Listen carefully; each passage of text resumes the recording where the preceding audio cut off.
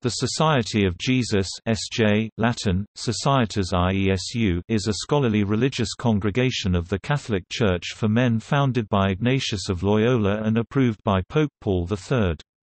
The members are called Jesuits Latin, Jesuitae.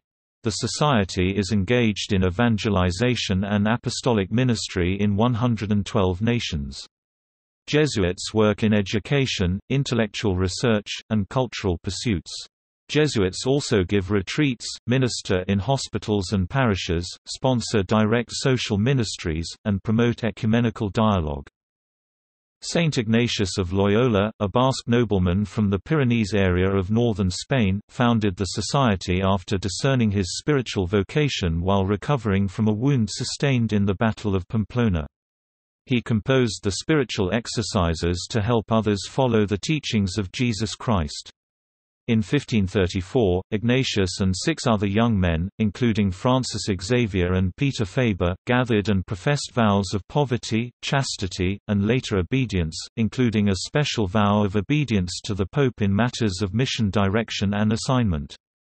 Ignatius's plan of the order's organization was approved by Pope Paul III in 1540 by a bull containing the formula of the Institute Ignatius was a nobleman who had a military background, and the members of the society were supposed to accept orders anywhere in the world, where they might be required to live in extreme conditions. Accordingly, the opening lines of the founding document declared that the society was founded for Whoever desires to serve as a soldier of God to strive especially for the defense and propagation of the faith and for the progress of souls in Christian life and doctrine. Jesuits are thus sometimes referred to colloquially as God's soldiers, God's Marines, or the Company, which evolved from references to Ignatius's history as a soldier and the Society's commitment to accepting orders anywhere and to endure any conditions. The Society participated in the Counter-Reformation and, later, in the implementation of the Second Vatican Council. The Society of Jesus is consecrated under the patronage of Madonna della Strada, a title of the Blessed Virgin Mary, and it is led by a Superior General. The headquarters of the Society, its General Curia, is in Rome. The historic Curia of Ignatius is now part of the Collegio del Gesù attached to the Church of the Gesù, the Jesuit Mother Church. In 2013, Jorge Mario Bergoglio became the first Jesuit to be elected pope, taking the name Pope Francis.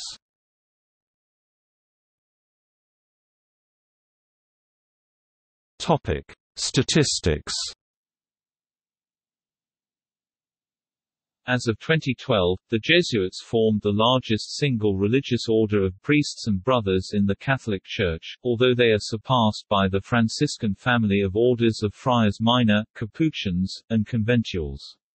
The Jesuits have experienced a decline in numbers in recent decades. As of 2017 the Society had 16,088 members, 11,583 priests and 4,505 Jesuits in formation, which includes brothers and scholastics.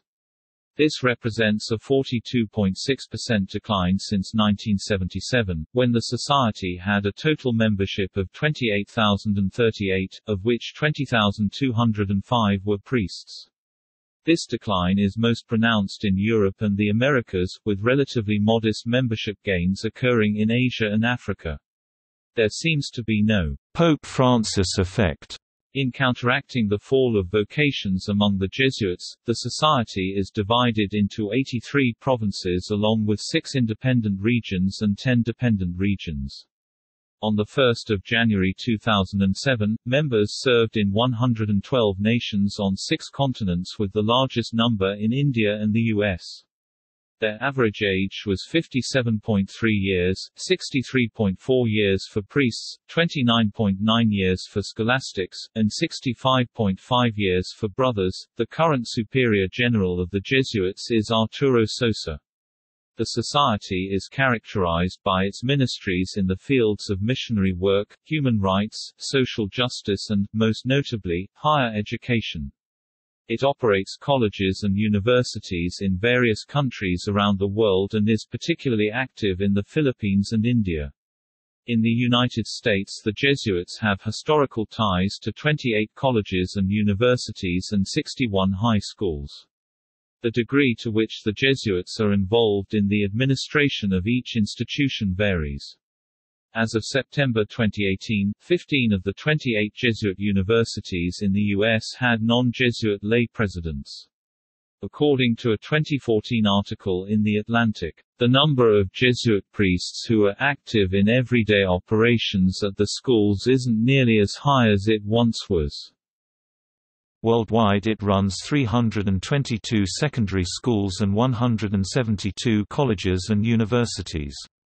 A typical conception of the mission of a Jesuit school will often contain such concepts as proposing Christ as the model of human life, the pursuit of excellence in teaching and learning, lifelong spiritual and intellectual growth, and training men and women for others.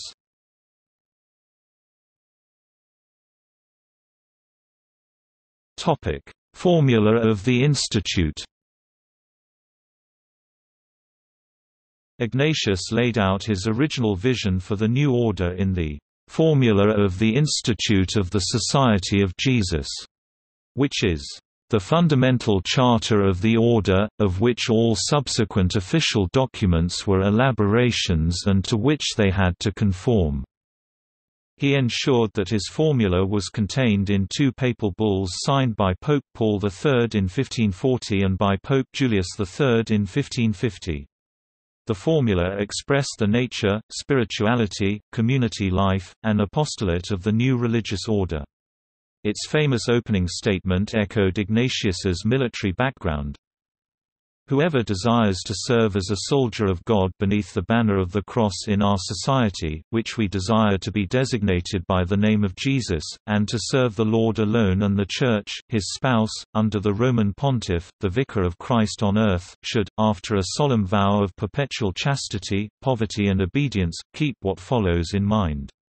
He is a member of a society founded chiefly for this purpose, to strive especially for the defense and propagation of the faith and for the progress of souls in Christian life and doctrine, by means of public preaching, lectures and any other ministration whatsoever of the Word of God, and further by means of retreats, the education of children and unlettered persons in Christianity, and the spiritual consolation of Christ's faithful through hearing confessions and administering the other sacraments.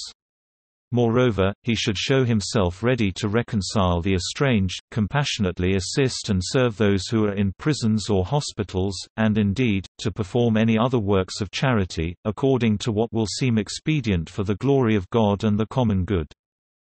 A fresco depicting Ignatius of Loyola receiving the papal bull Regimini Militantis Ecclesiae from Pope Paul III was created after 1743 by Johann Christoph Handke in the Church of Our Lady of the Snow in Olomouc.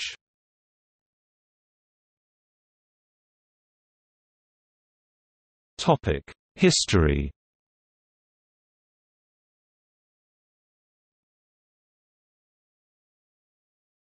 Topic: Foundation On 15 August 1534, Ignatius of Loyola, born Inigo López de Loyola, a Spaniard from the Basque city of Loyola, and six others mostly of Castilian origin, all students at the University of Paris, met in Montmartre outside Paris, in a crypt beneath the church of Saint Denis, now Saint-Pierre de Montmartre, to pronounce the religious vows of poverty, chastity, and obedience. Ignatius's six companions were, Francisco Xavier from Navarre modern Spain, Alfonso Salmeron, Diego Lainez, Nicolás Bobadilla from Castile modern Spain, Peter Faber from Savoy, and Simão Rodrigues from Portugal. The meeting has been commemorated in the martyrium of Saint Denis, Montmartre. They called themselves the Compañía de Jesus, and also Amigos en el Señor, friends in the Lord, because they felt they were placed together by Christ. The name, company, had echoes of the military reflecting perhaps Ignatius's background as captain in the Spanish army as well as of discipleship the companions of Jesus. The Spanish company would be translated into Latin as societas like in socius, a partner or comrade. From this came, "'Society of Jesus' SJ by which they would be known more widely. Religious orders established in the medieval era were named after particular men: Francis of Assisi, Franciscans, Domingo de Guzman, later canonized as Saint Dominic, Dominicans, and Augustine of Hippo, Augustinians. Ignatius of Loyola and his followers appropriated the name of Jesus for their new order, provoking resentment by other orders who considered it presumptuous. The resentment was recorded by Jesuit José de Acosta of a conversation with the Archbishop of Santo Domingo. In the words of one historian, "...the use of the name Jesus gave great offense." Both on the continent and in England, it was denounced as blasphemous. Petitions were sent to kings and to civil and ecclesiastical tribunals to have it changed, and even Pope Sixtus V had signed a brief to do away with it. But nothing came of all the opposition, there were already congregations named after the Trinity and as God's daughters. In 1537, the seven travelled to Italy to seek papal approval for their order. Pope Paul III gave them a commendation, and permitted them to be ordained priests. These initial steps led to the official founding in 1540. They were ordained in Venice by the Bishop of Arb the 24th of June. They devoted themselves to preaching and charitable work in Italy. The Italian War of 1535–1538 renewed between Charles V, Holy Roman Emperor, Venice, the Pope, and the Ottoman Empire, had rendered any journey to Jerusalem impossible. Again in 1540, they presented the project to Paul III. After months of dispute, a congregation of cardinals reported favorably upon the constitution presented, and Paul III confirmed the order through the bull Regimini Militantis Ecclesiae, to the government of the Church militant, on 27 September 1540. This is the founding document of the Society of Jesus as an official Catholic religious order. Ignatius was chosen as the first superior general. Paul III's bull had limited the number of its members to 60. This limitation was removed through the bull Exposcit Debitum of Julius III in 1550. In fulfilling the mission of the formula of the Institute of the Society, the first Jesuits concentrated on a few key activities. First, they founded schools throughout Europe. Jesuit teachers were trained in both classical studies and theology, and their schools reflected this. Second, they sent out missionaries across the globe to evangelize those peoples who had not yet heard the gospel, founding missions in widely diverse regions such as modern-day Paraguay, Japan, Ontario, and Ethiopia. One of the original seven arrived in India already in 1541. Finally, though not initially formed for the purpose, they aimed to stop Protestantism from spreading and to preserve communion with Rome and the successor of St. Peter. The zeal of the Jesuits overcame the movement toward Protestantism in the Polish-Lithuanian Commonwealth and southern Germany. Ignatius wrote the Jesuit constitutions, adopted in 1553, which created a centralized organization and stressed acceptance of any mission to which the Pope might call them. His main principle became the unofficial Jesuit motto, ad maiorem Dei gloriam, for the greater glory of God. This phrase is designed to reflect the idea that any work that is not evil can be meritorious for the spiritual life if it is performed with this intention, even things normally considered of little importance. The Society of Jesus is classified among institutes as a mendicant order of clerks regular, that is, a body of priests organized for apostolic work, following a religious rule, and relying on alms, or donations, for support. The term Jesuit of 15th-century origin, meaning one who used too frequently or appropriated the name of Jesus was first applied to the society in Reproach 1544 -1552. The term was never used by Ignatius of Loyola, but over time, members and friends of the society adopted the name with a positive meaning.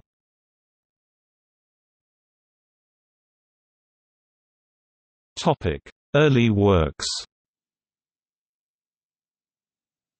The Jesuits were founded just before the Council of Trent 1545–1563, and ensuing Counter-Reformation that would introduce reforms within the Catholic Church, and so counter the Protestant Reformation throughout Catholic Europe. Ignatius and the early Jesuits did recognize, though, that the hierarchical church was in dire need of reform. Some of the greatest struggles were against corruption, venality, and spiritual lassitude within the Catholic Church. Ignatius insisted on a high level of academic preparation for the clergy in contrast to the relatively poor education of much of the clergy of his time. And the Jesuit vow against ambitioning prelacies can be seen as an effort to counteract another problem evidenced in the preceding century. Ignatius and the Jesuits who followed him believed that the reform of the Church had to begin with the conversion of an individual's heart.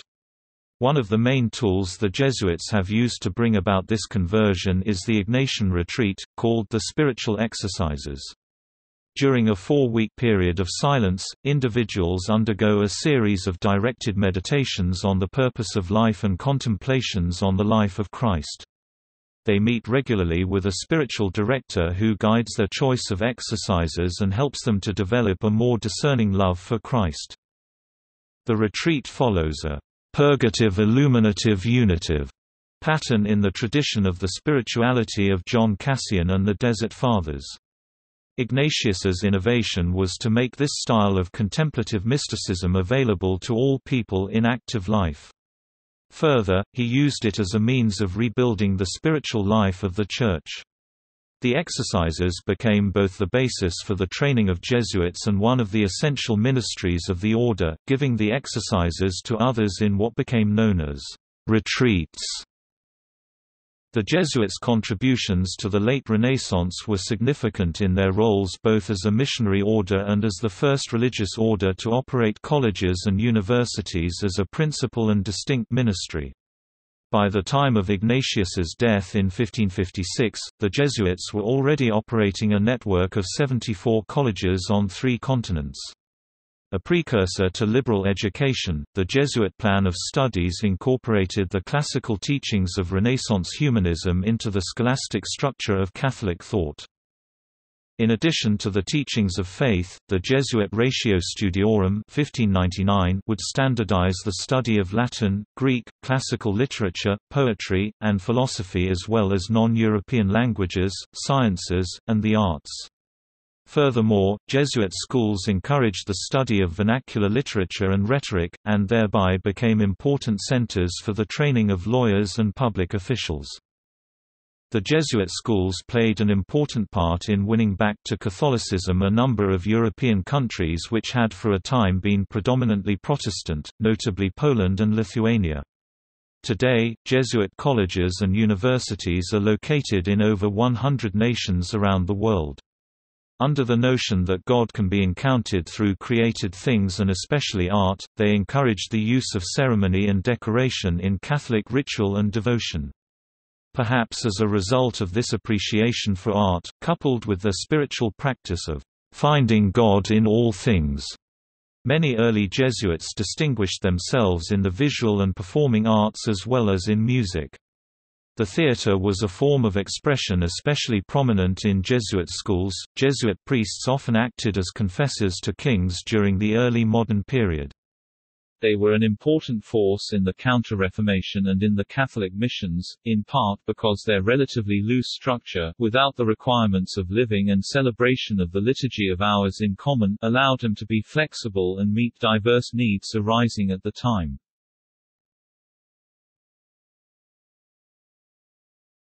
Topic: Expansion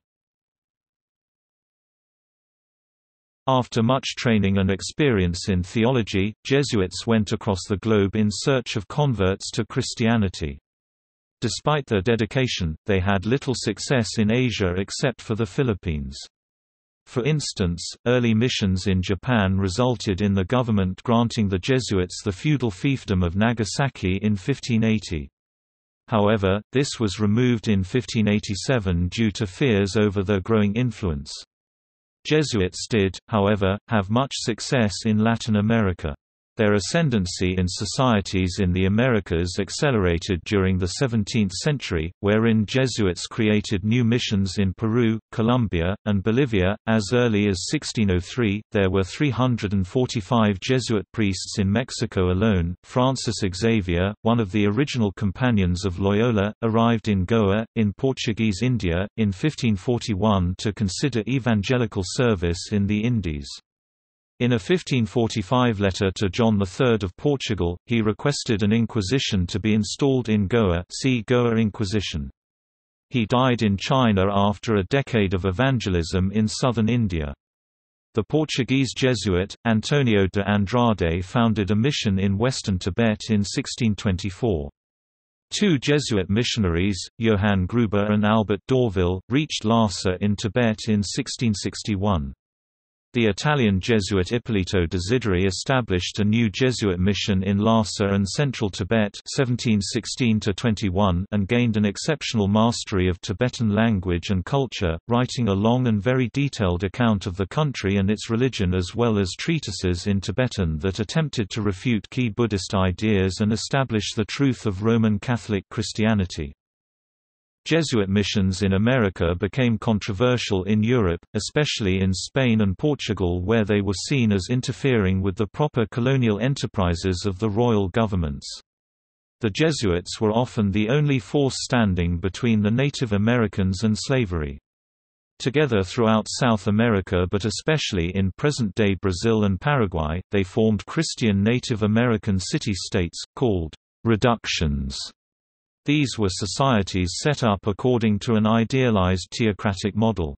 The efforts of Jesuits like Antonio Ruiz de Montoya to protect the natives from enslavement by Spanish and Portuguese colonizers would contribute to the call for the society's suppression. Jesuit priests such as Manuel da Nobrega and José de Anchieta founded several towns in Brazil in the 16th century, including São Paulo and Rio de Janeiro, and were very influential in the pacification, religious conversion, and education of Indian nations. They also built schools, organized people into villages, and created a writing system for the local languages of Brazil. José de Anchieta and Manuel da Nobrega were the first Jesuits that Ignacio de Loyola sent to America. Jesuit scholars working in foreign missions were very important in studying their languages and strove to produce Latinized grammars and dictionaries. This included, Japanese see Nippo Jisho also known as Vocabulario da Língua de Iapam, Vocabulary of the Japanese Language, a Japanese-Portuguese dictionary written 1603, Vietnamese Portuguese missionaries created the Vietnamese alphabet, which was later formalized by Avignon missionary Alexandre de Rhodes with his 1651 trilingual dictionary, Tupi the main language of Brazil, and the pioneering study of Sanskrit in the West by Jean-François Pons in the 1740s. Under Portuguese royal patronage, Jesuits thrived in Goa and until 1759 successfully expanded their activities to education and healthcare. In 1594 they founded the first Roman-style academic institution in the East, St. Paul Jesuit College in Macau, China. Founded by Alessandro Valignano, it had a great influence on the learning of Eastern languages, Chinese and Japanese, and culture by missionary Jesuits, becoming home to the first Western sinologists such as Matteo Ricci. Jesuit efforts in Goa were interrupted by the expulsion of the Jesuits from Portuguese territories in 1759 by the powerful Marquess of Pombal, Secretary of State in Portugal. Jesuit missionaries were active among indigenous peoples in New France in North America, many of them compiling dictionaries or glossaries of the First Nations and Native American languages they had learned. For instance, before his death in 1708, Jacques Gravier, Vicar General of the Illinois Mission in the Mississippi River Valley, compiled a Kaskaskia Illinois French dictionary, considered the most extensive among works of the missionaries. Extensive documentation was left in the form of the Jesuit Relations, published annually from 1632 until 1673.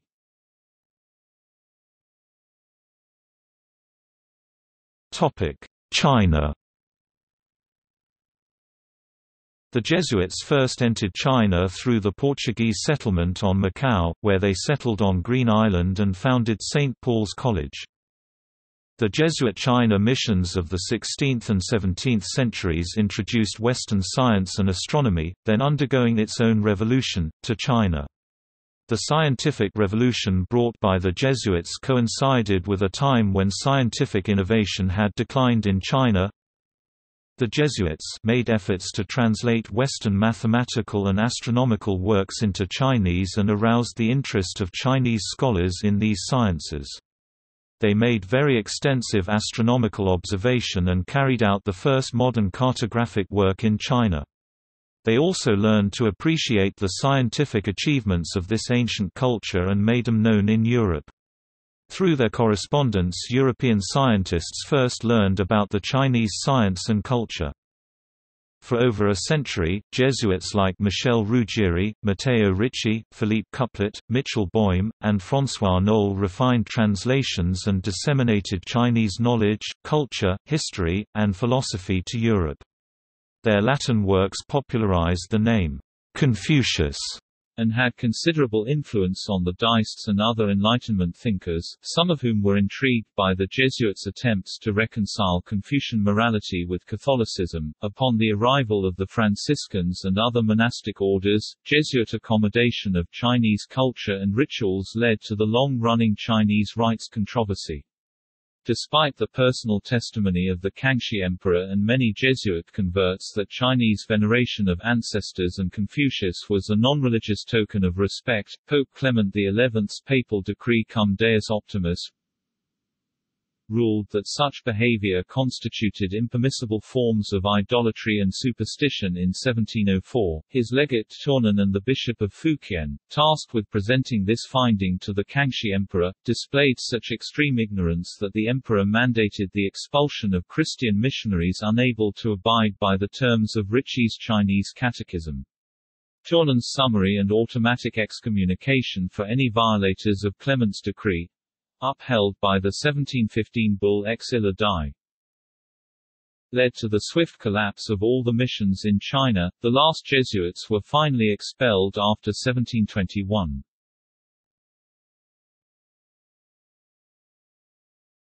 Topic: Canada. During the French colonization of New France in the 17th century, Jesuits played an active role in North America.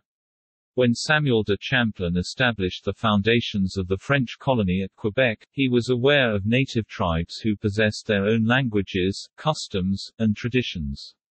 These natives that inhabited modern-day Ontario, Quebec, and the areas around Lake Simcoe and Georgian Bay were the Montagnais, the Algonquins, and the Huron. Champlain believed that these had souls to be saved, so in 1614 he initially obtained the Recollects, a reform branch of the Franciscans in France, to convert the native inhabitants. In 1624 the French Recollects realized the magnitude of the task and sent a delegate to France to invite the Society of Jesus to help with this mission. The invitation was accepted, and Jesuits Jean de Brébeuf, Ennemond Massé, and Charles Lalemant arrived in Quebec in 1625. Lalemant is considered to have been the first author of one of the Jesuit Relations of New France, which chronicled their evangelization during the 17th century. The Jesuits became involved in the Huron mission in 1626 and lived among the Huron peoples. Brébeuf learned the native language and created the first Huron language dictionary. Outside conflict forced the Jesuits to leave New France in 1629 when Quebec was captured by the Kirk brothers under the English flag. But in 1632 Quebec was returned to the French under the Treaty of Saint-Germain-en-Laye and the Jesuits returned to Huron territory, modern Huronia. In 1639, Jesuit Jerome Lalemant decided that the missionaries among the Hurons needed a local residence and established Sainte Marie, which expanded into a living replica of European society. It became the Jesuit headquarters and an important part of Canadian history. Throughout most of the 1640s the Jesuits had great success, establishing five chapels in Huronia and baptizing over 1,000 Huron natives. However, as the Jesuits began to expand westward they encountered more Iroquois natives, rivals of the Hurons. The Iroquois grew jealous of the Hurons' wealth and fur trade system, began to attack Huron villages in 1648. They killed missionaries and burned villages, and the Hurons scattered. Both Jean de Brébeuf and Gabriel Lalemant were tortured and killed in the Iroquois raids. They have been canonized as martyrs in the Catholic Church. With the knowledge of the invading Iroquois, the Jesuit Paul Ragueneau burned down Sainte Marie instead of allowing the Iroquois the satisfaction of destroying it. By late June 1649, the French and some Christian Hurons built Sainte Marie II on Christian Island, Isle de Saint-Joseph. However, facing starvation, lack of supplies, and constant threats of Iroquois attack, the small Sainte Marie II was abandoned in June 1650. The remaining Hurons and Jesuits departed for Quebec and Ottawa. After a series of epidemics, beginning in 1634, some Huron began to mistrust the Jesuits and accused them of being sorcerers casting spells from the books. As a result of the Iroquois raids and outbreak of disease, many missionaries, traders, and soldiers died. Today, the Huron tribe, also known as the Wyandot, have a First Nations reserve in Quebec, Canada, and three major settlements in the United States. After the collapse of the Huron nation, the Jesuits were to undertake the task of converting the Iroquois, something they had attempted in 1642 with little success. In 1653 the Iroquois nation had a fallout with the Dutch. They then signed a peace treaty with the French and a mission was established. The Iroquois took the treaty lightly and soon turned on the French again. In 1658, the Jesuits were having very little success and were under constant threat of being tortured or killed, but continued their effort until 1687 when they abandoned their permanent posts in the Iroquois homeland. By 1700, Jesuits turned to maintaining Quebec, Montreal, and Ottawa without establishing new posts. During the Seven Years' War, Quebec fell to the English in 1759 and New France was under British control. The English barred the immigration of more Jesuits to New France. By 1763, there were only 21 Jesuits stationed in New France. By 1773 only 11 Jesuits remained. During the same year the English crown laid claim to New France and declared that the Society of Jesus in New France was dissolved. The dissolution of the order left in place substantial estates and investments, amounting to an income of approximately £5,000 a year, and the Council for the Affairs of the Province of Quebec, later succeeded by the Legislative Assembly of Quebec, assumed the task of allocating the funds to suitable recipients, chiefly schools. The Jesuit mission in Quebec was re-established established in 1842. There were a number of Jesuit colleges founded in the decades following, one of these colleges evolved into present-day Laval University.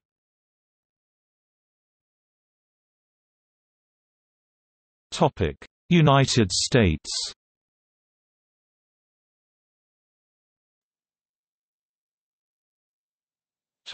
Mexico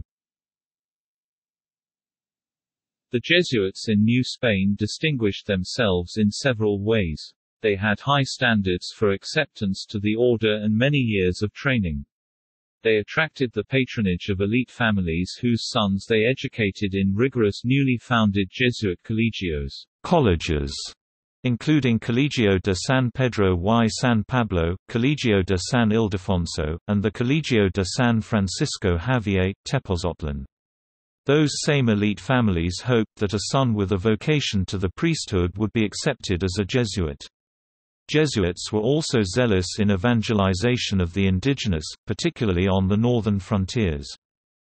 To support their colegios and members of the Society of Jesus, the Jesuits acquired landed estates that were run with the best practices for generating income in that era. A number of these haciendas were donated by wealthy elites. The donation of a hacienda to the Jesuits was the spark igniting a conflict between 17th-century Bishop of Puebla Don Juan de Palafox and the Jesuit Colegio in that city.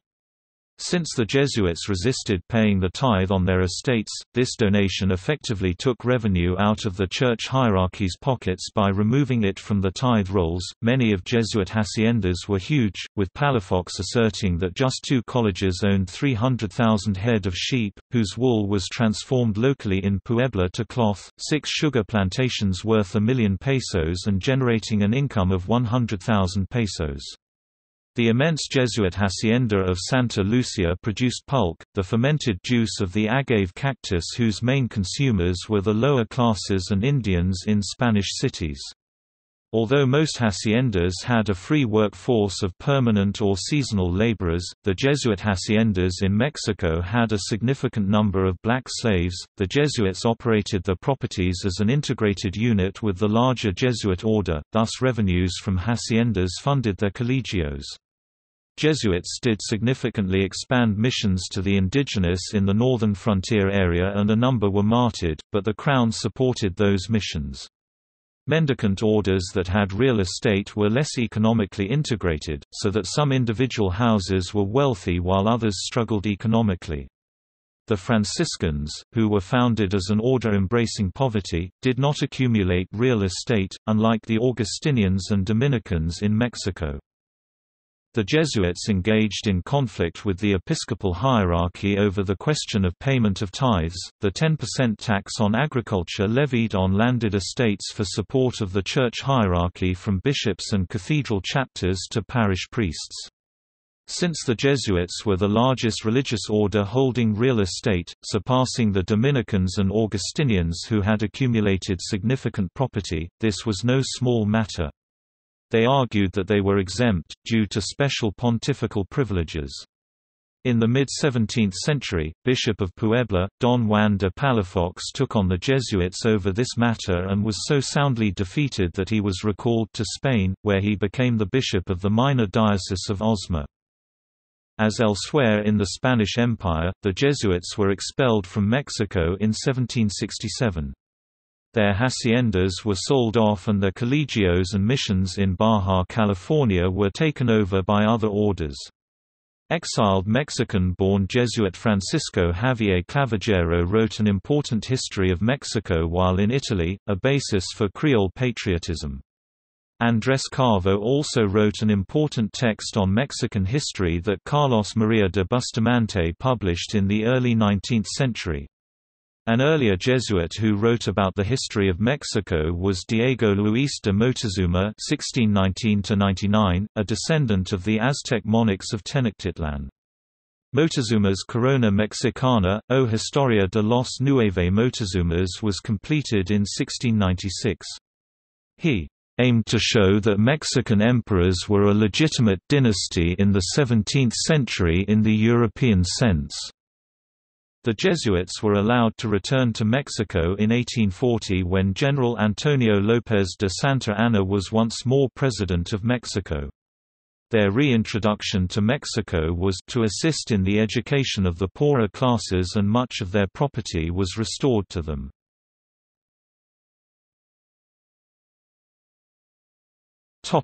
Northern Spanish America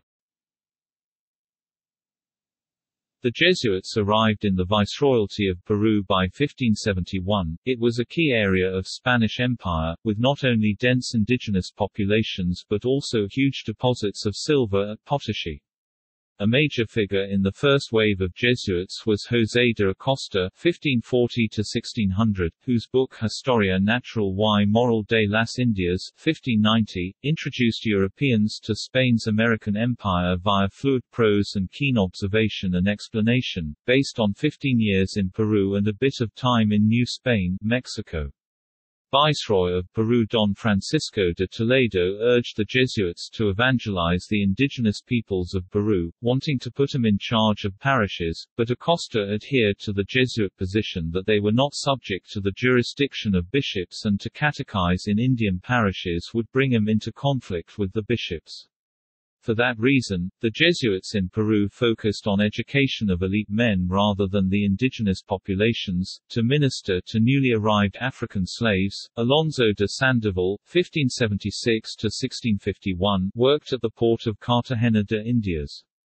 Sandoval wrote about this ministry in De Instauranda Ethiopium Salute 1627, describing how he and his assistant Pedro Claver, later canonized, met slave transport ships in the harbor, went below decks where 300 to 600 slaves were chained, and gave physical aid with water, while introducing the Africans to Christianity. In his treatise, he did not condemn slavery or the ill treatment of slaves, but sought to instruct fellow Jesuits to this ministry and describe how he catechized the slaves. Rafael Ferrer was the first Jesuit of Quito to explore and found missions in the upper Amazon regions of South America from 1602 to 1610, which belonged to the Audiencia High Court of Quito that was a part of the Viceroyalty of Peru until it was transferred to the newly created Viceroyalty of New Granada Granada in 1717. In 1602, Ferrer began to explore the Aguarico, Napo, and Maranon rivers, Sucumbíos region, in what is today Ecuador and Peru, and between 1604 and 1605 set up missions among the Cofane natives. He was martyred by an apostate native in 1610. In 1639, the Audiencia of Quito organized an expedition to renew its exploration of the Amazon River and the Quito Jesuit, Jesuita Quiteno, Cristobal de Acuña was a part of this expedition. The expedition disembarked from the Napo River 16 February 1639 and arrived in what is today Parral, Brazil on the banks of the Amazon River on 12 December 1639. In 1641, Acuña published in Madrid a memoir of his expedition to the Amazon River entitled Nuevo Descubrimiento del Gran Río de las Amazonas, which for academics became a fundamental reference on the Amazon region. In 1637, the Jesuits Gaspar Cujia and Lucas de la Cueva from Quito began establishing missions in Maynas territories, on the banks of the Maranon River, around the Pongo de Manseriche region, close to the Spanish settlement of Borja. Between 1637 and 1652 there were 14 missions established along the Maranon River and its southern tributaries, the Huallaga and the Ucayali rivers. Jesuit Lucas de la Cueva and Raimundo de Santa Cruz opened up two new routes of communication with Quito, through the Pastaza and Napo rivers. Between 1637 and 1715, Samuel Fritz founded 38 missions along the length of the Amazon River, between the Napo and Negro rivers, that were called the Omagua missions. These missions were continually attacked by the Brazilian Bandeirantes beginning in the year 1705. In 1768, the only Omagua mission that was left was San Joaquin de Omaguas, since it had been moved to a new location on the Napo River away from the Bandeirantes. In the immense territory of Maynas, the Jesuits of Quito made contact with a number of indigenous tribes which spoke 40 different languages, and founded a total of 173 Jesuit missions encompassing 150,000 inhabitants. Because of the constant epidemics, smallpox and measles, and warfare with other tribes and the Bandeirantes, the total number of Jesuit missions were reduced to 40 by 1744. At the time when the Jesuits were expelled from Spanish America in 1767, the Jesuits of Quito registered 36 missions run by 25 Jesuits of Quito in the Audiencia of Quito 6 in the Napo and Aguarico missions and 19 in the Pastaza and Iquitos missions, with the population at 20,000 inhabitants.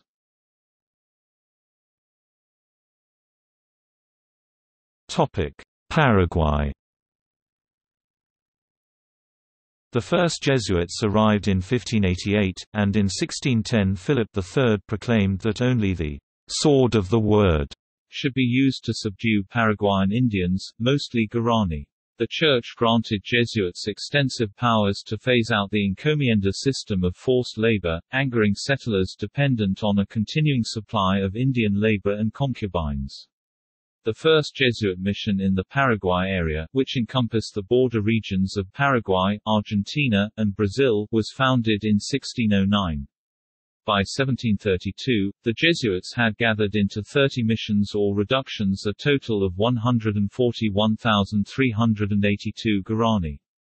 Due to disease, European politics, and internal discord, the population in the missions declined afterwards.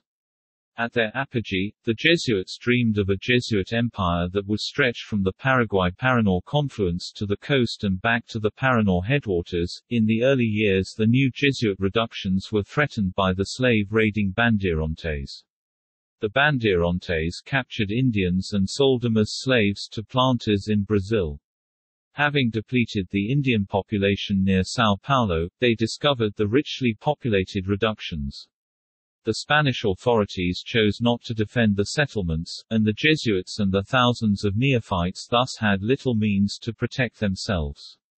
Thousands of Guarani were captured by the Bandeirantes before, organized and armed by the Jesuits, a Guarani army defeated the slave raiders at the Battle of Mbororé. Subsequently, the Viceroy of Peru conceded the right of bearing arms to the Guarani. Thereafter, well-trained and highly motivated Indian units were able to defend themselves from slavers and other threats. The victory at Mbororé set the stage for the golden age of the Jesuits in Paraguay. Life in the reductions offered the Guarani higher living standards, protection from settlers, and physical security. These reductions, which became quite wealthy, exported goods, and supplied Indian armies to the Spanish on many occasions. The reductions, where the Jesuits created orchestras, musical ensembles, and actors' troupes, and in which virtually all the profits derived from Indian labor were distributed to the laborers, earned praise from some of the leaders of the French Enlightenment, who were not predisposed to favor Jesuits. By means of religion, D'Alembert wrote. The Jesuits established a monarchical authority in Paraguay, founded solely on their powers of persuasion and on their lenient methods of government.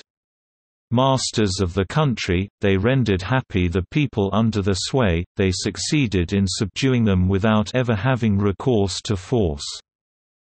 And Jesuit-educated Voltaire called the Jesuit government, a triumph of humanity. Because of their success, the Paraguayan Jesuits gained many enemies, and the reductions fell prey to changing times. During the 1720s and 1730s, Paraguayan settlers rebelled against Jesuit privileges in the revolt of the Comuneros and against the government that protected them. Although this revolt failed, it was one of the earliest and most serious risings against Spanish authority in the New World and caused the Crown to question its continued support for the Jesuits. The Jesuit-inspired War of the Seven Reductions 1750 increased sentiment in Madrid for suppressing this «empire within an empire» The Spanish king Charles III (1759–88) expelled the Jesuits in 1767 from Spain and its territories. Within a few decades of the expulsion, most of what the Jesuits had accomplished was lost. The missions were mismanaged and abandoned by the Guarani. Today, these ruins of a 160-year experiment have become a tourist attraction.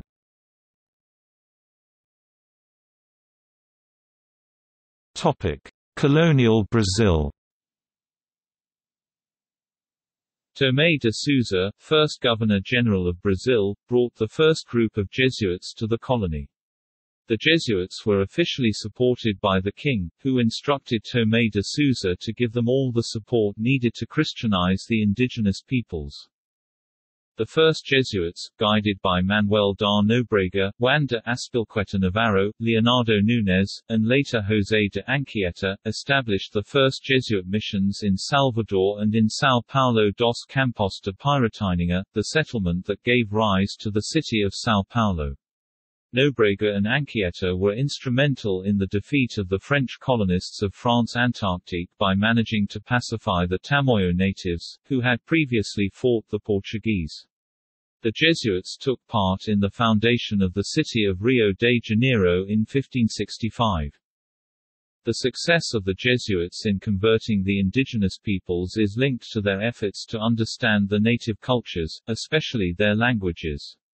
The first grammar of the Tupi language was compiled by José de Anchieta and printed in Coimbra in 1595. The Jesuits often gathered the Aborigines in communities, the Jesuit reductions, where the natives worked for the community and were evangelized. The Jesuits had frequent disputes with other colonists who wanted to enslave the natives. The action of the Jesuits saved many natives from being enslaved by Europeans, but also disturbed their ancestral way of life and inadvertently helped spread infectious diseases against which the Aborigines had no natural defenses. Slave labor and trade were essential for the economy of Brazil and other American colonies, and the Jesuits usually did not object to the enslavement of African peoples, but rather critique the conditions of slavery.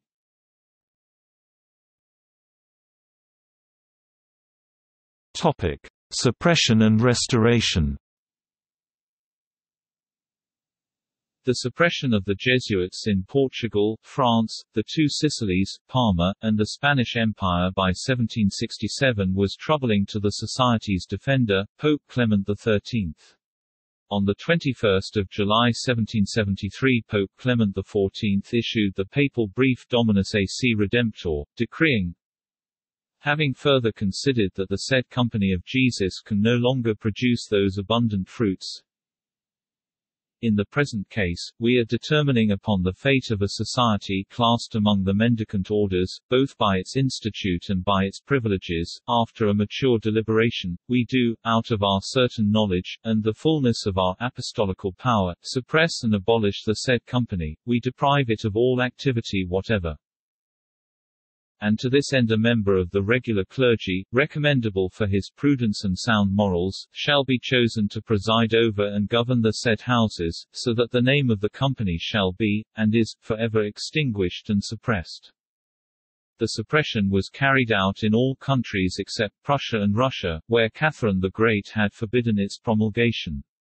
Because millions of Catholics, including many Jesuits, lived in the Polish provinces recently annexed by the Kingdom of Prussia, the Society was able to maintain its existence and carry on its work all through the period of suppression.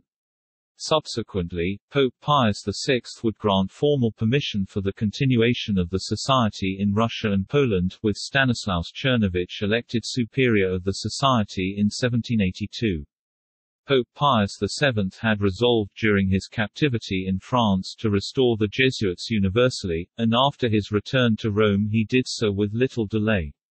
On 7 August 1814, by the bull Sollicitudo Omnium Ecclesiarum, he reversed the suppression of the society, and therewith another Polish Jesuit, Thaddeus Brzozowski, who had been elected to superior in Russia in 1805, acquired universal jurisdiction. The period following the restoration of the Jesuits in 1814 was marked by tremendous growth, as evidenced by the large number of Jesuit colleges and universities established in the 19th century. In the United States, 22 of the Society's 28 universities were founded or taken over by the Jesuits during this time.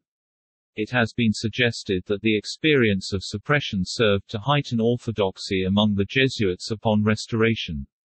While this claim is debatable, Jesuits were generally supportive of papal authority within the Church, and some members were associated with the Ultramontanist movement and the declaration of papal infallibility in 1870.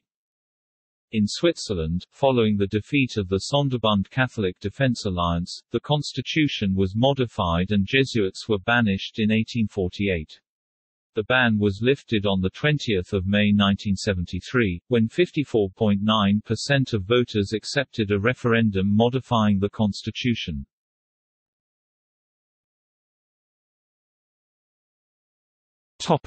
Early 20th century. In the Constitution of Norway from 1814, a relic from the earlier anti-Catholic laws of Denmark-Norway, paragraph 2 originally read, the evangelical Lutheran religion remains the public religion of the state. Those inhabitants, who confess thereto, are bound to raise their children to the same. Jesuits and monastic orders are not permitted. Jews are still prohibited from entry to the realm. Jews were first allowed into the realm in 1851 after the famous Norwegian poet Henrik Wergeland had campaigned for it. Monastic orders were permitted in 1897, but the ban on Jesuits was only lifted in 1956. Republican Spain in the 1930s passed laws banning the Jesuits on grounds that they were obedient to a power different from the state. Pope Pius XI wrote about this, it was an expression of a soul deeply hostile to God and the Catholic religion, to have disbanded the religious orders that had taken a vow of obedience to an authority different from the legitimate authority of the state. In this way it was sought to do away with the Society of Jesus, which can well glory in being one of the soundest auxiliaries of the chair of St. Peter, with the hope, perhaps, of then being able with less difficulty to overthrow in the near future, the Christian faith and morale in the heart of the Spanish nation, which gave to the Church of God the grand and glorious figure of Ignatius Loyola.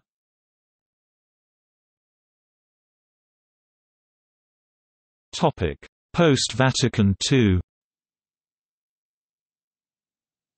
The 20th century witnessed both growth and decline. Following a trend within the Catholic priesthood at large, Jesuit numbers peaked in the 1950s and have declined steadily since.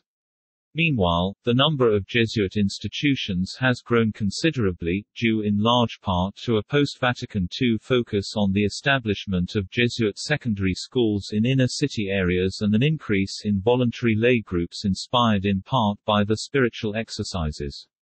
Among the notable Jesuits of the 20th century, John Courtney Murray was called one of the architects of the Second Vatican Council and drafted what eventually became the Council's endorsement of religious freedom, Dignitatis Humanae.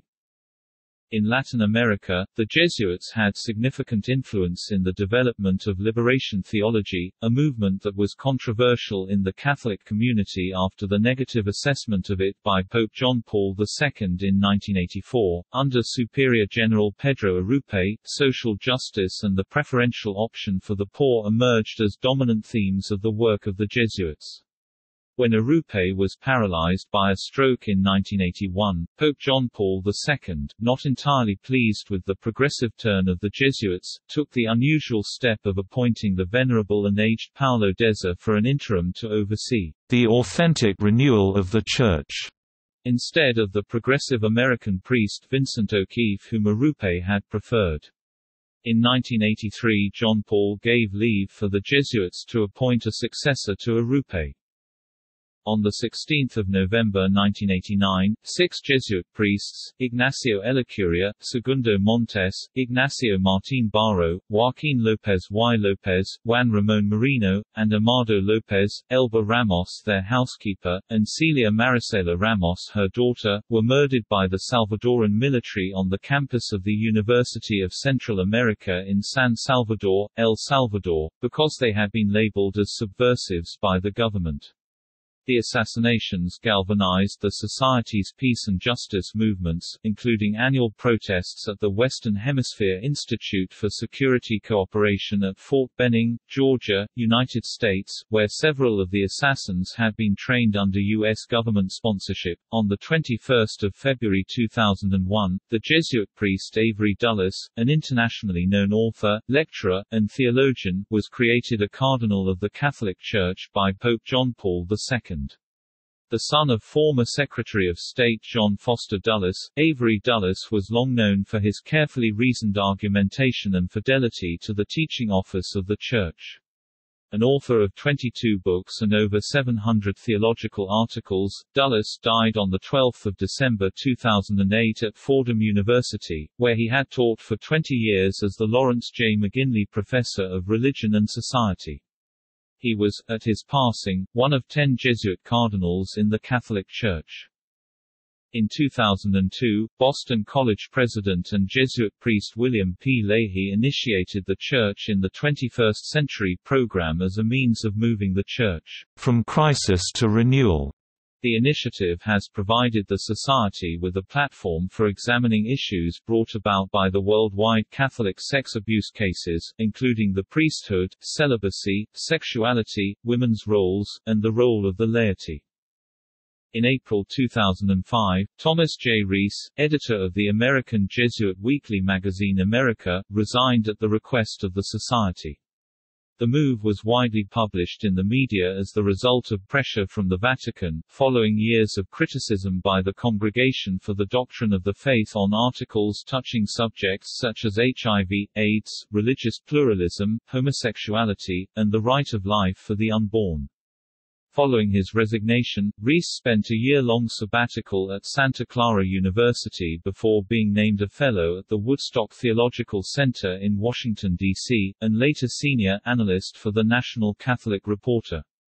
President Barack Obama appointed him to the United States Commission on International Religious Freedom in 2014 and again in 2016. On 2 February 2006, Peter Hans Kolvenbach informed members of the Society of Jesus that, with the consent of Pope Benedict XVI, he intended to step down as Superior General in 2008, the year he would turn 80. On the 22nd of April 2006, Feast of Our Lady, Mother of the Society of Jesus, Pope Benedict XVI greeted thousands of Jesuits on pilgrimage to Rome, and took the opportunity to thank God for having granted to your company the gift of men of extraordinary sanctity and of exceptional apostolic zeal such as Saint Ignatius of Loyola, Saint Francis Xavier, and B. L. Peter Faber. He said, Saint Ignatius of Loyola was above all a man of God, who gave the first place of his life to God, to his greater glory and his greater service. He was a man of profound prayer, which found its center and its culmination in the daily Eucharistic celebration. In May 2006, Benedict XVI also wrote a letter to Superior General Peter Hans Kolvenbach on the occasion of the 50th anniversary of Pope Pius XII's encyclical Haurietis Aquas, on devotion to the Sacred Heart, because the Jesuits have always been extremely active in the promotion of this essential devotion. In his 3 November 2006 visit to the Pontifical Gregorian University, Benedict XVI cited the university as one of the greatest services that the Society of Jesus carries out for the Universal Church. The 35th General Congregation of the Society of Jesus convened on 5 January 2008 and elected Adolfo Nicolas as the new Superior General on 19 January 2008. In a letter to the Fathers of the Congregation, Benedict XVI wrote, As my predecessors have said to you on various occasions, the Church needs you, relies on you and continues to turn to you with trust, particularly to reach those physical and spiritual places which others do not reach or have difficulty in reaching. Paul VI's words remain engraved on your hearts. Wherever in the Church, even in the most difficult and extreme fields, at the crossroads of ideologies, in the social trenches, there has been and there is confrontation between the burning exigencies of man and the perennial message of the Gospel, here also there have been, and there are, Jesuits. Address to the 32nd General Congregation of the Jesuits, 3 December 1974, or, 12 December, N. 2, p. 4. In 2013, Jesuit Cardinal Jorge Bergoglio became Pope Francis. Before he became pope, he was appointed bishop when he was in virtual estrangement from the Jesuits, since he was seen as an enemy of liberation theology, and viewed by others as still far too orthodox, trying to protect Jesuits but not approving of their participation in violent groups. Once elected, there was an immediate reconciliation, and Pope Francis has been bringing the Jesuit simplicity, love for the poor, and service of the flock into the papacy. On 2 October 2016, General Congregation 36 convened in Rome, convoked by Superior General Adolfo Nicolas, who had announced his intention to resign at age 80. On October 14, the 36th General Congregation of the Society of Jesus elected Arturo Sosa, a Venezuelan, as its 31st Superior General. The General Congregation of Jesuits who elected Arturo Sosa in 2016 asked him to bring to completion the process of discerning Jesuit priorities for the time ahead. Sosa devised a two-year plan that enlisted all Jesuits and their lay collaborators in the process. Then in February 2019 he presented the results of the discernment, a list of four priorities for Jesuit ministries for the next ten years. 1. To show the way to God through discernment and the spiritual exercises of Ignatius of Loyola 2.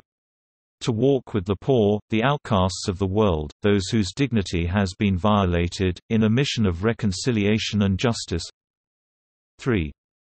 To accompany young people in the creation of a hope-filled future 4.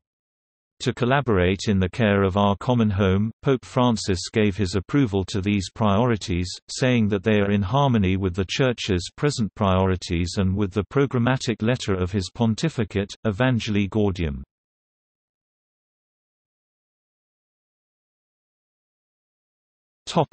Ignatian spirituality The spirituality practiced by the Jesuits, called Ignatian spirituality, ultimately based on the Catholic faith and the Gospels, is drawn from the constitutions, the letters, and autobiography, and most specially from Ignatius's spiritual exercises, whose purpose is to conquer oneself and to regulate one's life in such a way that no decision is made under the influence of any inordinate attachment. The exercises culminate in a contemplation whereby one develops a facility to find God in all things.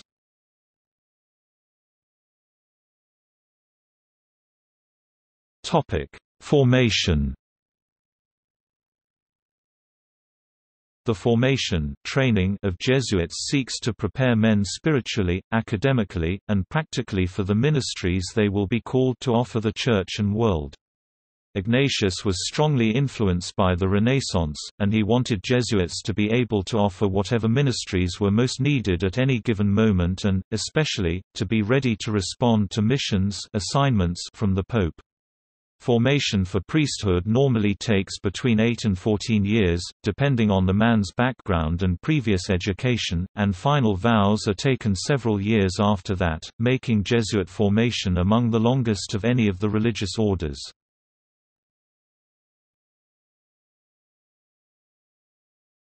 Topic: Government of the Society.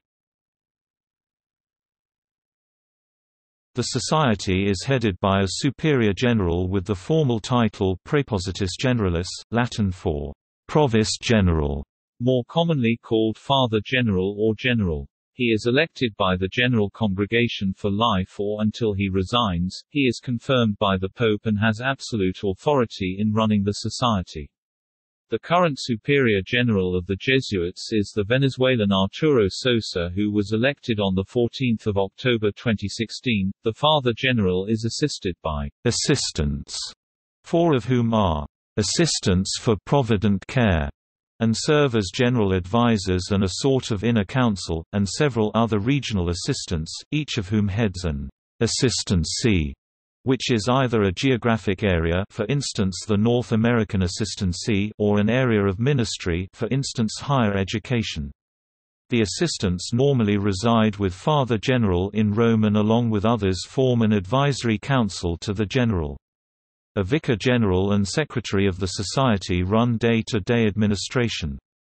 The general is also required to have an admonitor, a confidential advisor whose task is to warn the general honestly and confidentially when he might be acting imprudently or contrary to the Church's magisterium.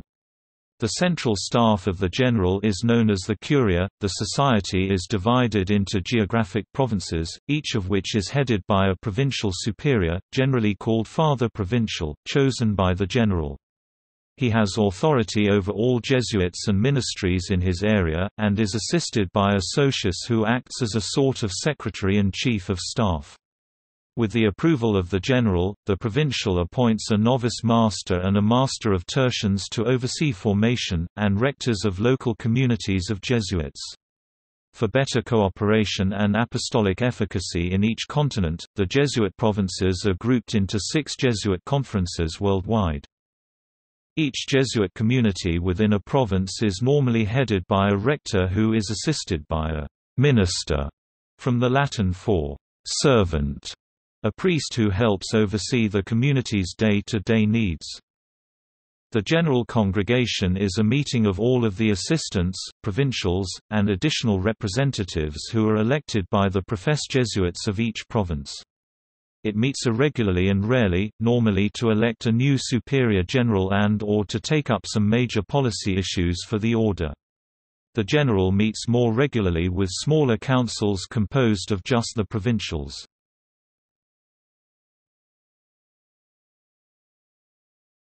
Topic: Habit and dress Jesuits do not have an official habit.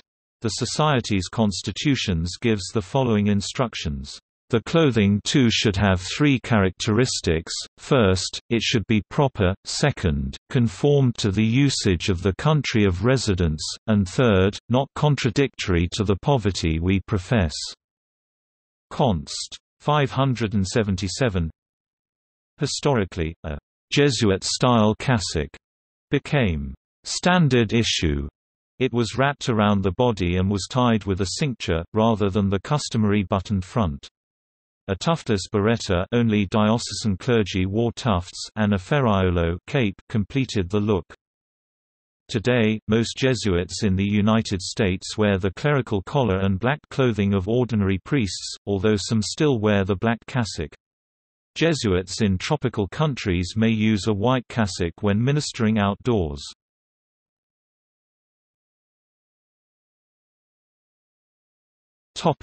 Controversies.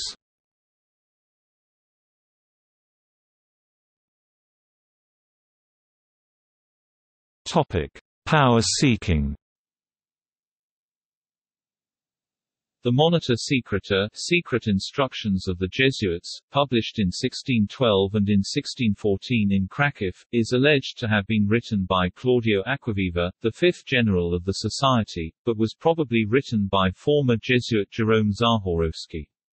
It purports to describe the methods to be adopted by Jesuits for the acquisition of greater power and influence for the society and for the Roman Catholic Church. The Catholic Encyclopedia states the book is a forgery, fabricated to ascribe a sinister reputation to the Society of Jesus.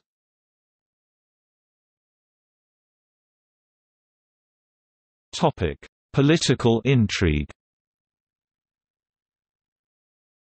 The Jesuits were temporarily banished from France in 1594 after a man named Jean Chatel tried to assassinate the King of France, Henry IV. Under questioning, Chatel revealed that he had been educated by the Jesuits of the Collège de Clermont. The Jesuits were accused of inspiring Chatel's attack. Two of his former teachers were exiled and a third was hanged. The Collège de Clermont was closed, and the building was confiscated. The Jesuits were banned from France, although this ban was quickly lifted. In England, Henry Garnet, one of the leading English Jesuits, was hanged for misprision of treason because of his knowledge of the Gunpowder Plot 1605. The plot was the attempted assassination of King James I of England and Vi of Scotland, his family, and most of the Protestant aristocracy in a single attack, by exploding the Houses of Parliament.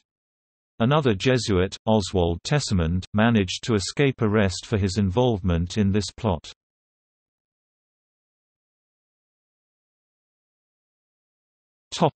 Casuistic justification Jesuits have been accused of using casuistry to obtain justifications for unjustifiable actions cf. Formulary Controversy and Lettres Provinciales, by Blaise Pascal. Hence, the concise Oxford Dictionary of the English language lists, "...equivocating", as a secondary denotation of the word, "...Jesuit". Modern critics of the Society of Jesus include Avro Manhattan, Alberto Rivera, and Malachi Martin, the latter being the author of The Jesuits, The Society of Jesus and the Betrayal of the Roman Catholic Church 1987.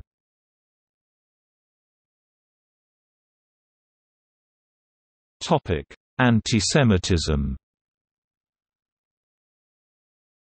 Although in the first 30 years of the existence of the Society of Jesus there were many Jesuits who were conversos Catholic convert Jews, an anti-converso faction led to the Decree de Genere 1593 which proclaimed that either Jewish or Muslim ancestry, no matter how distant, was an insurmountable impediment for admission to the Society of Jesus.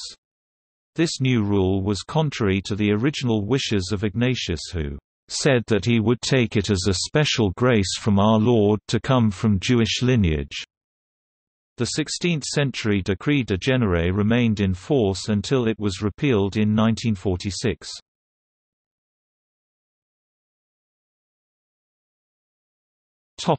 Theological debates Within the Roman Catholic Church, there has existed a sometimes tense relationship between Jesuits and the Holy See due to questioning of official church teaching and papal directives, such as those on abortion, birth control, women deacons, homosexuality, and liberation theology. Usually, this theological free-thinking is academically oriented, being prevalent at the university level.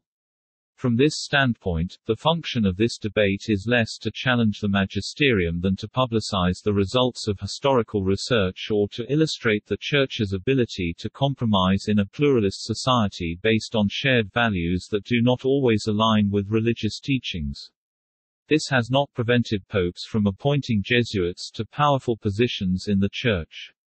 John Paul II and Benedict XVI together appointed ten Jesuit cardinals to notable jobs.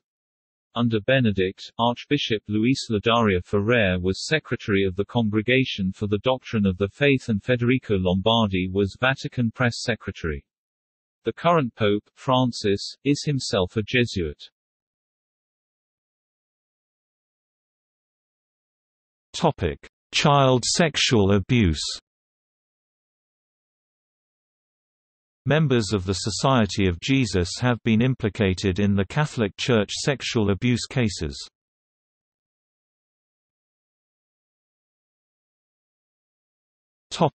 Nazi persecution The Catholic Church faced persecution in Nazi Germany. Hitler was anti-clerical and had particular disdain for the Jesuits. According to John Pollard, the Jesuits' Ethos represented the most intransigent opposition to the philosophy of Nazism, and so the Nazis considered him as one of their most dangerous enemies. A Jesuit college in the city of Innsbruck served as a center for anti-Nazi resistance and was closed down by the Nazis in 1938. Jesuits were a target for Gestapo persecution, and many Jesuit priests were deported to concentration camps. Jesuits made up the largest contingent of clergy imprisoned in the priest barracks of Dachau concentration camp. Lapomarda lists some 30 Jesuits as having died at Dachau. Of the total of 152 Jesuits murdered by the Nazis across Europe, 43 died in the concentration camps and an additional 27 died from captivity or its results. The superior general of Jesuits at the outbreak of war was Włodzimierz Ledóchowski, a Pole. The Nazi persecution of the Catholic Church in Poland was particularly severe. Vincent Lapomarda wrote that Ledóchowski helped stiffen the general attitude of the Jesuits against the Nazis, and that he permitted Vatican Radio to carry on its campaign against the Nazis in Poland. Vatican Radio was run by the Jesuit Filippo Soccorsi and spoke out against Nazi oppression, particularly with regard to Poland and to Vichy French antisemitism. Several Jesuits were prominent in the small German resistance. Among the central membership of the Kreisau Circle of the Resistance were the Jesuit priests Augustin Rösch, Alfred Delp, and Lothar Koenig. The Bavarian Jesuit provincial, Augustin Rösch, ended the war on death row for his role in the July plot to overthrow Hitler. Another non-military German resistance group, dubbed the Frau Solf Tea Party by the Gestapo, included the Jesuit priest Friedrich Erxleben. The German Jesuit Robert Leiber acted as intermediary between Pius XII and the German resistance. Among the Jesuit victims of the Nazis, Germany's Rupert Mayer has been beatified. Mayer was a Bavarian Jesuit who clashed with the Nazis as early as 1923. Continuing his critique following Hitler's rise to power, Mayer was imprisoned in 1939 and sent to Sachsenhausen concentration camp. As his health declined, the Nazis feared the creation of a martyr and sent him to the Abbey of Ettal in 1940. There he continued to give sermons and lectures against the evils of the Nazi regime, until his death in 1945.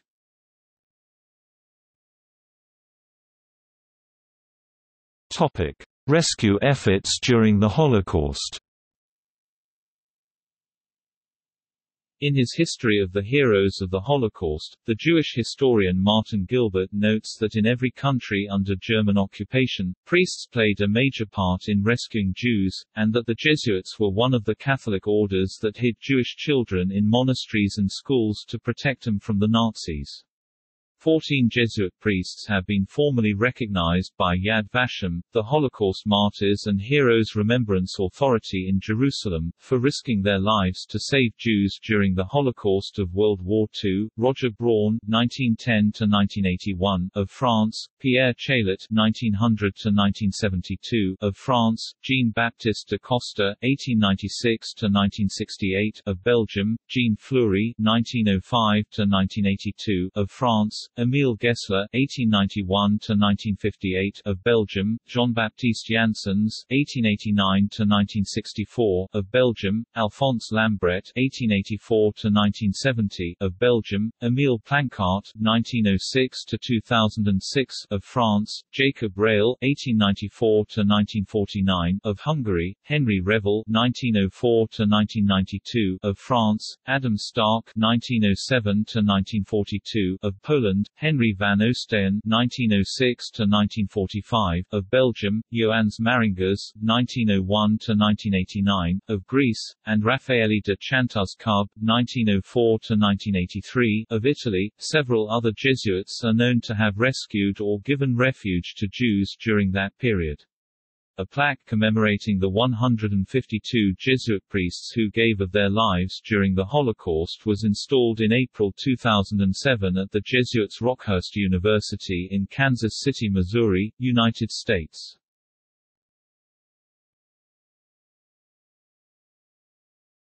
Topic: In science.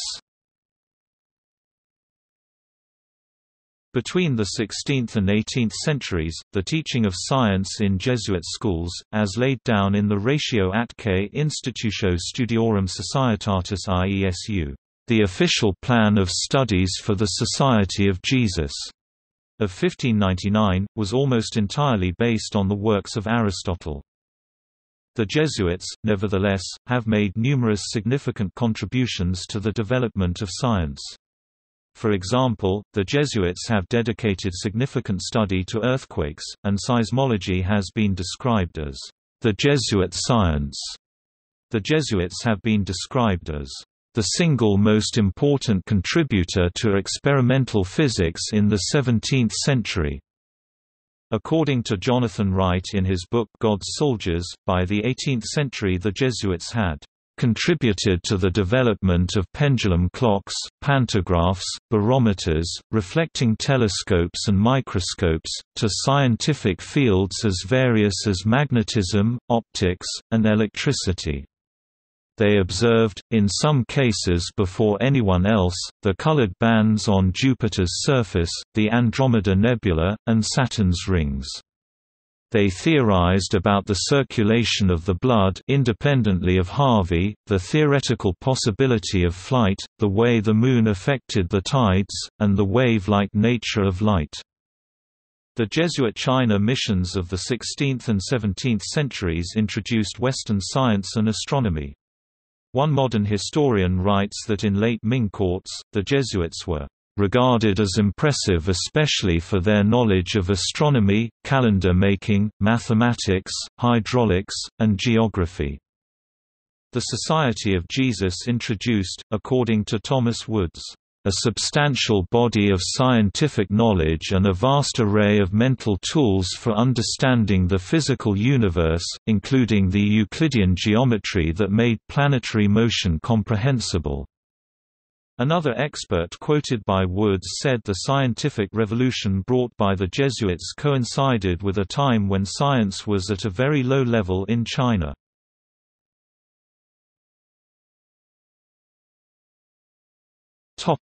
Notable members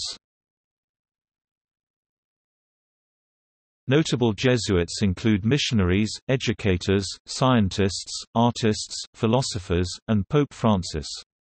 Among many distinguished early Jesuits was Francis Xavier, a missionary to Asia who converted more people to Catholicism than anyone before, and Robert Bellarmine, a doctor of the Church.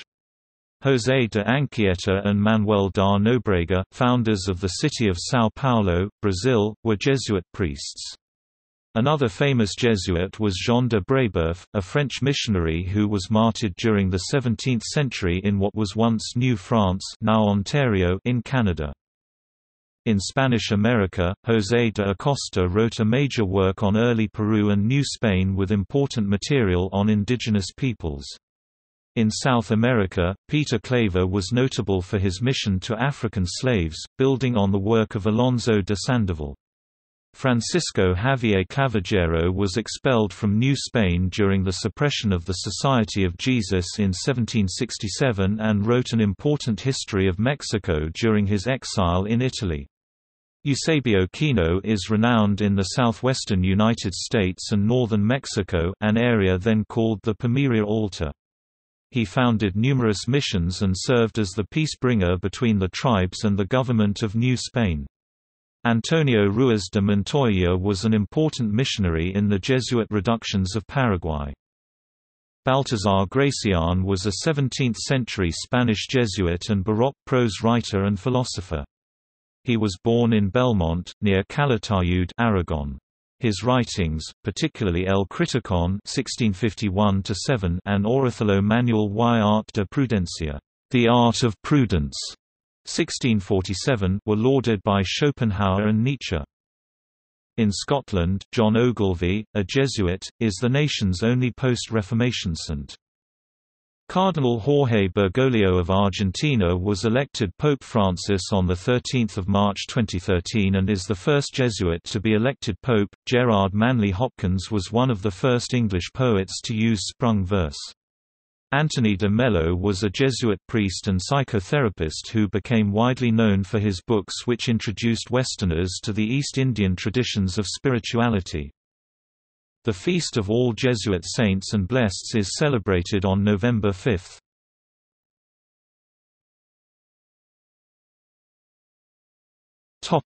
Institutions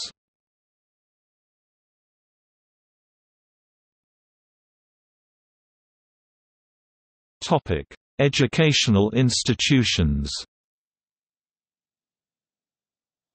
Although the work of the Jesuits today embraces a wide variety of apostolates, ministries, and civil occupations, they are probably most well known for their educational work.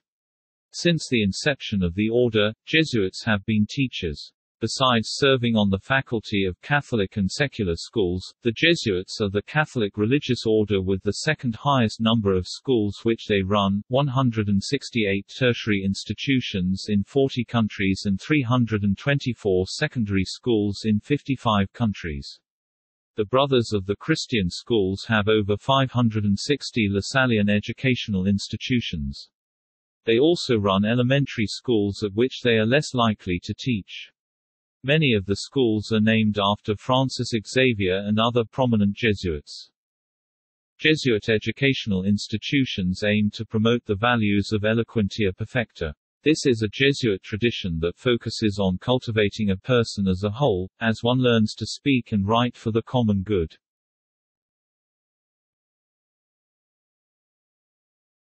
Topic: Social and development institutions. Since the Second Vatican Council and their own general congregations which followed it, Jesuits have become increasingly involved in works directed primarily toward social and economic development for the poor and marginalized. Included in this would be research, training, advocacy, and action for human development, as well as direct services. Most Jesuit schools have an office that fosters social awareness and social service in the classroom and through extracurricular programs, usually detailed on their websites. The Jesuits also run over 500 notable or standalone social or economic development centers in 56 countries around the world. Since the Second Vatican Council, Jesuits have founded many schools with the special purpose of serving the poor or marginalized, as among the Dalits in India and the Cristo Rey Network in the United States.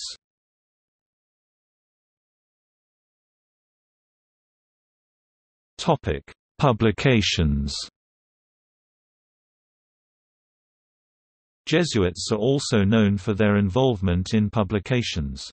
La Civiltà Cattolica, a periodical produced in Rome by the Jesuits, has often been used as a semi-official platform for popes and Vatican officials to float ideas for discussion or hint at future statements or positions. In the United States, America magazine has long had a prominent place in Catholic intellectual circles. Most Jesuit colleges and universities have their own presses which produce a variety of books, book series, textbooks, and academic publications. Ignatius Press, founded by a Jesuit, is an independent publisher of Catholic books, most of which are of the popular academic or lay intellectual variety. In Australia, the Jesuits produce a number of magazines, including Eureka Street, Madonna, Australian Catholics, and Province Express. In Germany, the Jesuits publish Geist und Leben. In Sweden the Catholic cultural magazine Signum, edited by the Newman Institute, covers a broad spectrum of issues concerning faith, culture, research, and society. The printed version of Signum is published eight times per year. In addition, there is an up-to-date website www.signum.se containing an article archive dating from 1975 to the present.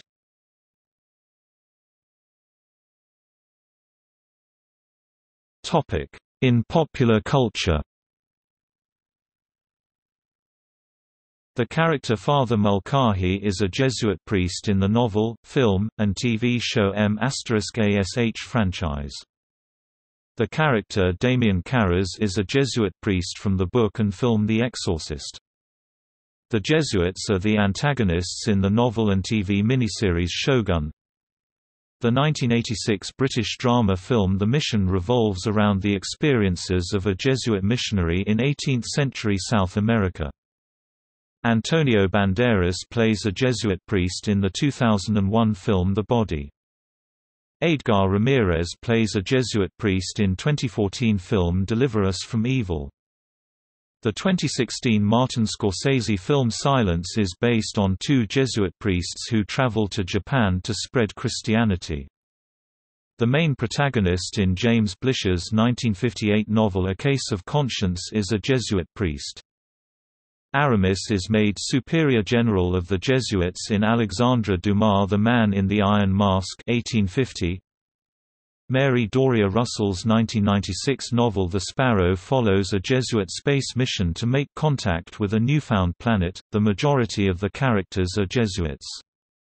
Angelo Cardinal Menoni is the head of the Society of Jesus in A. J. Quinnell's 1987 novel The Name of the Father. In James Joyce's semi-autobiographical 1916 novel A Portrait of the Artist as a Young Man, the novel's protagonist, Stephen Dedalus, is educated in Jesuit schools.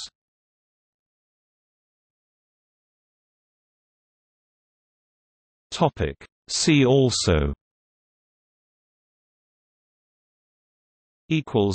Notes